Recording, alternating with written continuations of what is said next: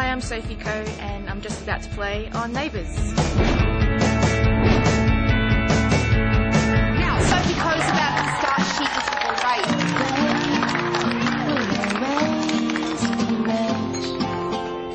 Track I played today is um, Anywhere. Um, it's a song off my first album, All the Pretty Boys, and it's the first single off the album.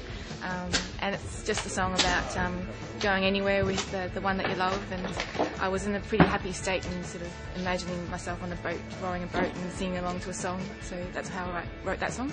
It's kind of um, strange because I'm a, a, fan of Neighbours, so, and I've always joked for years that I would, I would uh, one day be on Neighbours. So it's kind of uh, come around sort of um, in a weird way. oh, I love this song. Come on.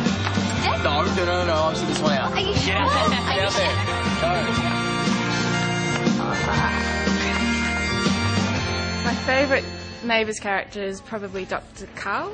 Um, I've been watching Neighbours for many years, and he's probably the, the fixture on there. Um, and um, he's a musician, so it's always been quite interesting watching his gigs on, on the show, and um, yeah, and following his songs and stuff. If I was a Neighbours, I would like to be um, the, I guess, probably this girl that just rocked up at Erinsborough High or something and just was kind of good at music but a bit of an outcast and um, and just made friends through you know a bunch of people there and um, and yeah it would be good to, to play music on the show and um, and just be uh, be a little bit sort of quirky, a little bit sort of left of centre, and I think that would work.